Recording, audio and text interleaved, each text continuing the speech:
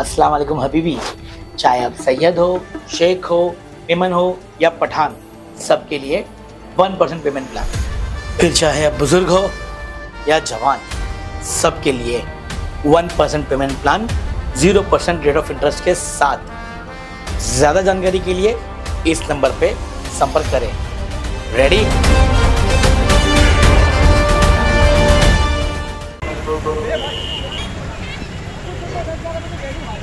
मैं इस्लामुद्दीन खान और आप देख रहे हैं प्रहार मुमरा की सड़कों पर एक बार फिर ट्रैफ़िक विभाग की तरफ़ से रोड पर पार्क की गई गाड़ियों को टोइंग किया जा रहा है। कुछ लोग मुमरा शहर में रोड पर ही गाड़ियों को पार्क कर रहे हैं और इसकी शिकायतें ट्रैफ़िक विभाग को कई दिनों से मिल रही थी, लेकिन ट्रैफ़िक विभाग ने अब इन गाड़ियों को टोइंग करना शुरू कर दिया है। टोइंग करके गाड़ियों को उठाकर ले जा रहे हैं और इन पर चलान भी किया जा रहा है।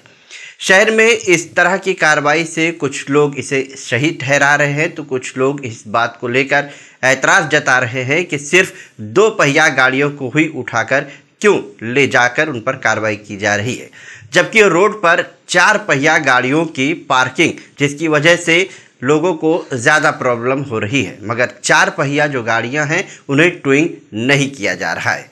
और दो पहिया गाड़ियों को टोइंग करके उन पर कार्रवाई की जा रही है। इस तरह की कार्रवाई पर मुमरा शहर के लोग सवाल उठा रहे हैं कि आखिर जो फोर व्हीलर गाड़ियाँ हैं, उन्हें टोइंग करके क्यों नहीं ले जाया जा रहा है और उन पर कार्रवाई क्यों नहीं हो रही है? हालाँकि ट्रैफ़िक विभाग की तरफ़ से कहा जा रहा है कि जो फोर व्हीलर है, जो पार्क की जाती हैं, उन पर भी कार्रवाई की जा रही है।